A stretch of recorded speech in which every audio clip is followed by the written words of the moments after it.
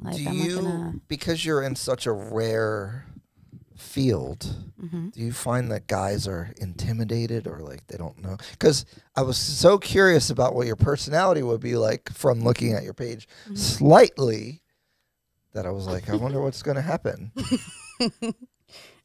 What do you mean? No, I just, uh, you know, Break out you, in gonna right like you beat people up. jump like, over this table, No. knock over the bottom. What do No, you I didn't think that. Like- So do you Do ever you- street fight? Right. No. No, just that's MMA wild. Yeah. So do you intimidate I, your I, dates? I avoid uh, street fights. because it's different.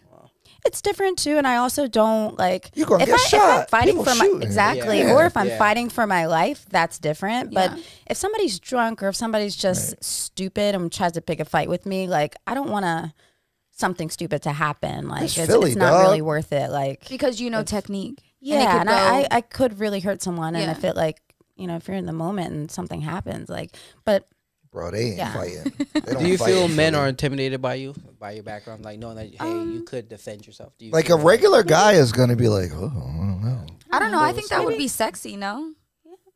Mm. Okay, I I'm don't Some we're guy. ask- people we're find- asking. Yeah, listen, we're asking. I, I Some guys. They- You ever been on a date and you're like, this, you told, hey, I do MMA, you know, I do self defense. He's like, uh, or some No, guys well, might fetish some- that. Like they'd be yeah, like, I mean, "Ooh, I've yeah." never really dated anybody who didn't know who I like what I Right. do before uh, Right. we dated. But I did date someone um, who was like, "Oh, I think this is really cool. Like, can I tr- like I want to be involved?" And we were training jujitsu together for a while, and then he fucked up. So, What did he do?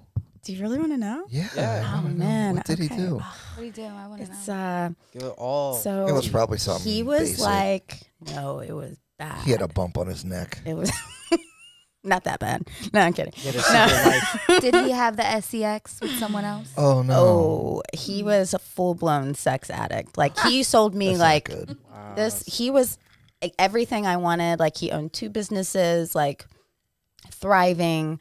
He was, you know, he was like the all American dream guy. And I'm like, oh my god, You can't put up with just a little cheat. And A he- little? No, no, no, no. He was like living like double, triple lives. Oh, Uh, okay. Yeah, I was like on the verge of moving into my house, and like I found out about it. Like, Wait, he was gonna move into your house, but Red he was flag. he was a rich guy. Said that off camera. no, no, no, because he lived in just like his uh-huh. bachelor pad, and we just thought, well, I have a daughter as well, so it's not like you know I Okay. have more bedrooms, and it's we did. If Sort he's of an all go on American, a- why why is why do you have more bedrooms than him? If he Well, because she he's has a like child. one bedroom He doesn't bachelor pad, and bedrooms. I. rich guys don't live in one bedroom I- bachelor pads. They live Well, in like he one did. lofts with an office Yeah. room. Yeah. Mm, suspicious. He's just lying. No, no, no. So I like he was a cheater. major. He had, yes. but he had like girlfriends. Um, I don't. I don't know the extent of it. I just know like what I found out, and it was a lot, and it was. uh Was that it really a lot? really, It was.